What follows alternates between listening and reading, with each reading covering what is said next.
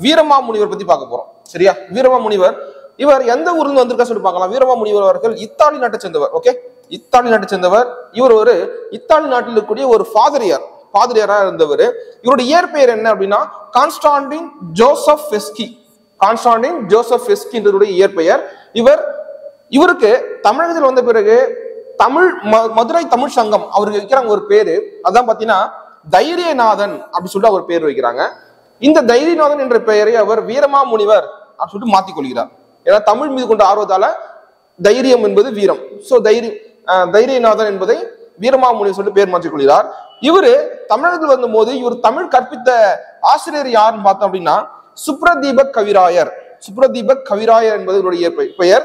இவரு எத்தனை வயதுல இந்தியா தமிழகத்துக்கு வராரு அப்படின்னு பார்த்தீங்கன்னா தமிழகத்துக்கு வந்த வயது முப்பது வயது. சரியா? இவர் தமிழகத்தில் கிட்டத்தட்ட முப்பது